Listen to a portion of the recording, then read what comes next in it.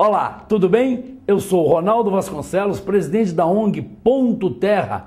Este é o programa Ecologia e Cidadania que passa aqui, que é transmitido aqui pela TV Ponto Terra, uma TV via web, que é uma coisa moderna que começa a pegar no mundo, no Brasil, em Minas e em Belo Horizonte. www.pontoterra.org.br o programa Ecologia e Cidadania, então, é um produto da TV Ponto Terra, que é um produto da ONG Ponto Terra.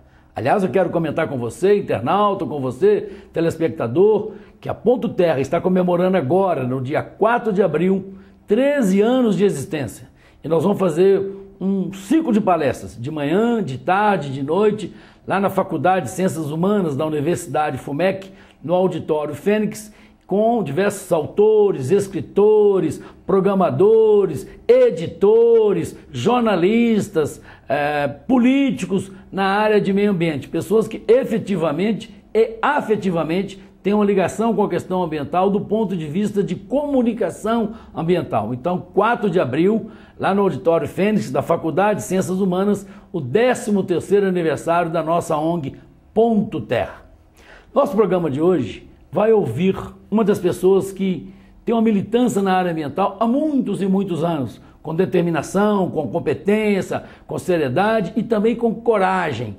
Nós vamos conversar com o presidente, na minha época se falava Associação dos Servidores do IEF, ASIEF. Hoje se fala Verde. Nós vamos conversar com o seu presidente, Romildo, que está aqui com a gente. Romildo, em primeiro lugar, obrigado pela visita aqui a Ponto Terra. Doutor Ronaldo, eu que agradeço a você estou disposto a, a, a, esclarecer a você o que você me perguntar sobre o meio ambiente, sobre o IF.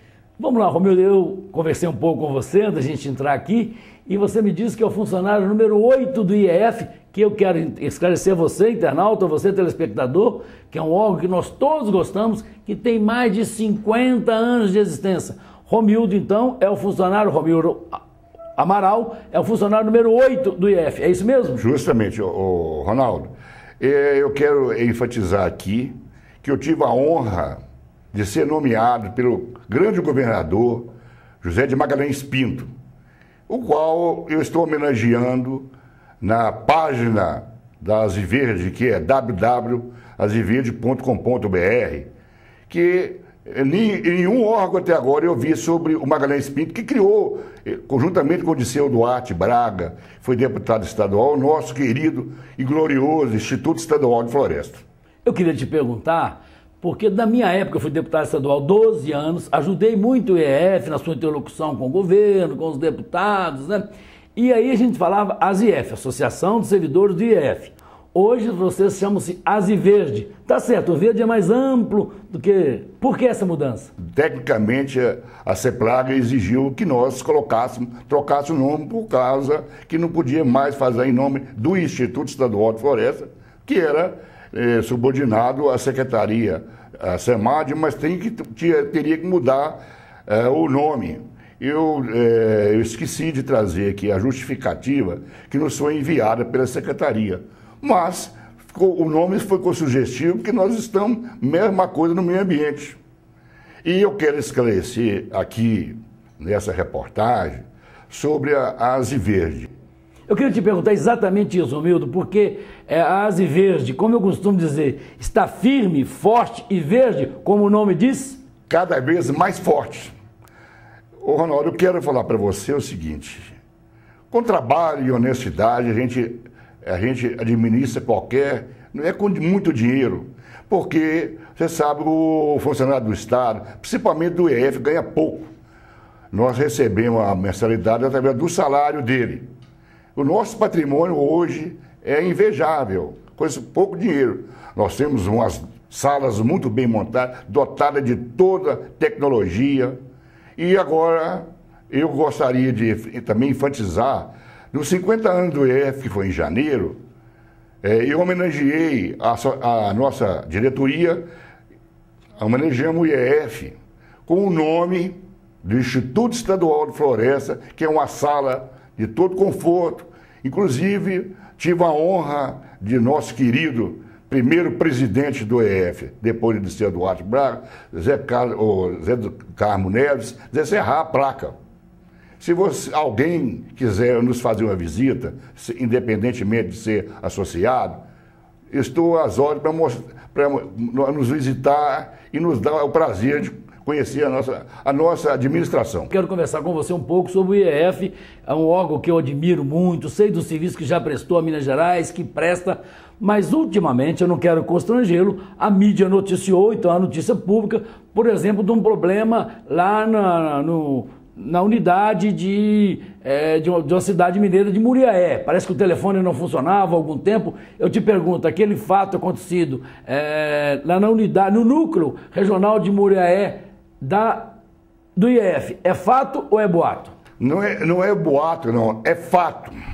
Eu, eu, é, inclusive, eu recebi, eu tenho recebido, logicamente que é uma questão de reserva, eu não posso declinar nome de funcionários de toda Minas Gerais que me mandam a, a mesma situação que está ocorrendo e que ocorreu lá em Moriaé está correndo em toda Minas Gerais.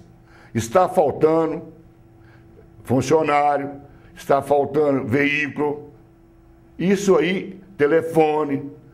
O processo hoje demora de um a um ano e meio para ser despachado com a licença. Do caso lá de Muriaé, que ficou sem telefone, um órgão público durante seis meses, cinco meses, qualquer coisa nesse sentido.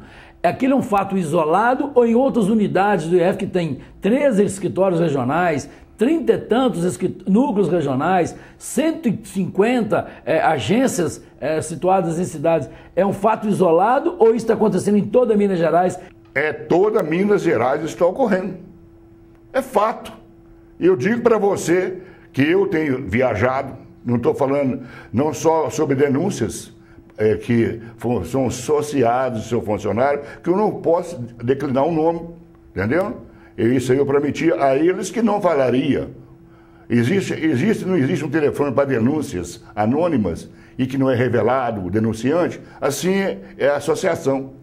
Eu não posso falar de onde partiu as denúncias sobre que a, o, má, um mau entendimento. Não falta é, funcionário, tem funcionário do EF que é contratado, hoje são estagiários, termina o estágio, eles vão embora, não pode ficar. Então o que acontece? O IEF está, que hoje estão confundindo. É uma outra, uma outra coisa que eu quero esclarecer aqui, é sobre que é, o IEF não licencia nada mais hoje. Por que, que, o IEF não licencia nada mais hoje? Porque com Romildo a... Amaral, presidente da Associação Ase Verde. Porque com a mudança da lei que foi dada a, é, para as modificações dos órgãos, que ficou vinculada à SEMAD, IEF, IGAM e FEAM. Muito bem. De acordo com o organograma hoje, o IEF é, ele está com a, os parques e áreas protegidas. E, normalmente, tem que fazer a reposição florestal, que é cobrada e que tem dois anos que não é feito. Nós estamos conversando hoje, dia 5 de março, aqui no estúdio da TV Ponto Terra, e há uns 15 dias atrás, o antigo diretor-geral do IEF, Marcos Ortiz, é, saiu, foi substituído, qualquer coisa assim, mostrando uma descontinuidade administrativa que nunca é bom para o governo, nunca é bom para o órgão. Né? E vocês lá das Invejas acompanharam essa mudança do diretor-geral? Não, não chegou o meu conhecimento, não tenho conhecimento por, a, pela saída dele, do, entendeu? Sei que às vezes eu tive muito pouco contato com ele, mas o contato que eu tive, eu tinha uma boa impressão sobre ele. Agora, são coisas de, de bastidores, eu não, me, não tomei conhecimento. Eu me atenho mais ao meu associado e funcionário porque eu tenho que defendê-lo. Ele está, está no meu estatuto. É onde eu, eu tenho o prazer de entrar com. Eu tenho advogados, eu tenho médicos, tudo a favor do meu funcionário, do meu associado. Agora, o IEF hoje está restrito às áreas degradadas e parques, e fomento. Esse fomento é o IEF. O resto, quem licencia é a Supram. E a Supram está licenciando todas as licenças solicitadas. Quando o governo atual começou, é, havia um trabalho de uma possibilidade de fusão dos órgãos, IEF, FEAM e IGAM, na chamada Agência Ambiental, qualquer coisa nesse sentido, do Estado de Minas Gerais. Desde o princípio, você, Romildo Amaral, se posicionou contra essa junção dos órgãos. É isso mesmo? É porque é o seguinte, esse primeiro órgão, chama Instituto Estadual de Floresta, IEF, por eu ser o oitavo funcionário da casa, eu acompanhei desde o início eh, esse, esse órgão que foi criado para defender o meio ambiente. Ora, se o órgão é conhecido nacional e internacionalmente como o IF é reconhecido, por que acabar com ele se houve uma má administração? A administração, é, é a, o órgão é estático, a administração é que passa, é que faz. Então não justificava e não justifica né, se criar um novo órgão que queriam, queriam criar. E eu luto até o final, até o fim, até hoje luta em favor do EF. Felizmente, o nosso governador, entendeu? Anastasia, reconheceu que o IEF é um órgão que prestou grande serviço ao Estado de Minas Gerais, se quiçá o Brasil. Romildo Amaral, presidente da Zivede. Para não falar que não falei de flores, como diz a música lá de Geraldo Vandé, nós estamos colocando aqui de umas desditas, de umas complicações internas na administrações do IEF. Mas a gente tem que lembrar que Minas tem belíssimos parques estaduais. Eu estou sendo agora otimista? Por exemplo, Ibitipoca, por exemplo, Rio Doce. Conta para nós. Não, é invejável. Eu é, tenho o privilégio, eu vou usar aqui que não sou, não, nunca voei em Minas Gerais em aviões para fazer fiscalização. Eu sempre rodei de veículo, de todo tipo de veículo, de todo tipo de, tra de trabalho que eu exerci, foi através de veículos. Eu conheço Minas Gerais inteiro. Não tem uma região que eu não conheça. E todos os parques do EF estão bem cuidados. A não ser o Rola Moço, que pega fogo todo ano, pois está encostado aqui no, em Belo, no fim de Belo Horizonte. Né? Agora, o resto, os outros parques, nós são lindos. Tem cachoeiras bonitas, nossa, as nossas é, bases estão lindas. Agora, o que está faltando para o IEF é se explicar para a população hoje que o IEF não licencia nada. O IEF cuida somente de parques e das áreas protegidas. Porque todo mundo acostumado, porque você vai em qualquer cidade de Minas Gerais, você, você, não, você não conhece, onde é que o IEF? Todo mundo sabe. Então o nome ficou gravado. E recai sobre o IEF toda a maldição de coisa errada.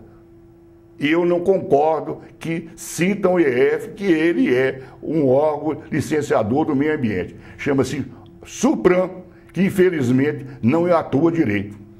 São os esclarecimentos aqui do Romildo Amaral, presidente da Asa Verde. Quero agradecê-lo, convidar para o dia 4 de abril estar conosco lá no ciclo de palestra da, da nossa Ponto Terra e agradecer a você, internauta, a você, telespectador, sempre pela sua audiência. Fique sempre conosco, programa Ecologia e Cidadania, um produto da TV Ponto Terra que comemora este ano 2013 13 anos de existência, como o IEF comemorou o ano passado 50 anos de existência e a ASIF, presidida pelo Romildo Amaral, comemorou há pouco tempo atrás 35 anos de existência. É muita luta a favor do meio ambiente e nós vamos lutar para preservarmos o Instituto Estadual de Florestas, pujante e glorioso, como colocou Romildo Amaral. Até o próximo programa.